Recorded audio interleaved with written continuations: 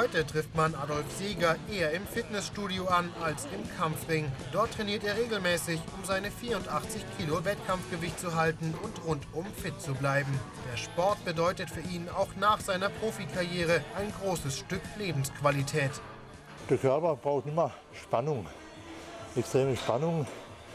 Und das kann ich ja selber regeln, solange es noch geht. Da gilt immer noch der Spruch, lieber sich verbrauchen als verrosten. Und das gilt für Seeger nun besonders, seitdem er nicht mehr Briefe austragen muss. Seit 2009 ist Deutschlands stärkster Postbote im Ruhestand. Das hat für ihn aber nicht nur Vorteile.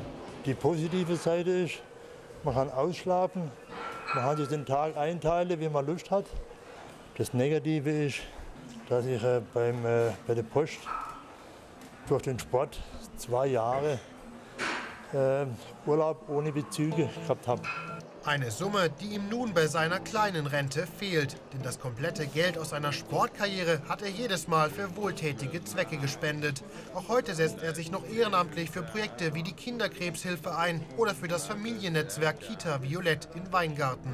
Von seinen früheren Ringerkollegen erntet er dafür Respekt. Der Grund für sein Engagement, ein Schlüsselerlebnis mit der Kinderkrebsklinik. Ich habe mich eine Krankenschwester angerufen und gefragt, ob ich nicht mal kommen könnte. Da wäre ein junger Bub, der wäre Ringer und der ist krank. Der wollte mich unbedingt mal sehen. Da bin ich halt da hingegangen. Hab, da hat sich da was äh, angebahnt, eine Freundschaft von der ganzen Familie und ich. Und da gab dann irgendwie da so eine Art, das war so ein Knackpunkt für mich, dass ich sage, ich möchte da helfen.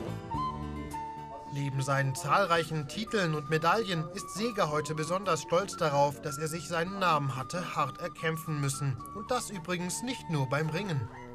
Ich spiele jahrelang in der Fußball prominente Mannschaft. Das ist die sogenannte Sava 11. Und da habe ich mit, mit großen Namen, die ich früher als kleiner Bub immer so groß gesehen habe. Rahn, Uwe Seeler und so, Herbert Erhard, Egel und später Hönes, Netzer, wie man auf dem Bild sieht, habe da mitgespielt. Das war für mich eine große Sache. Was viele auch nicht wissen, durch den internationalen Erfolg bei den Olympischen Spielen 72 wäre aus Seeger sogar beinahe ein Westernstar geworden. Sergio Leone, der hat schon ins Schädel gesehen, der, der muss in dem Film mitspielen. Mein Name ist Nobody. Ich hätte sogar dann acht Wochen nach Spanien zu Dreharbeiten.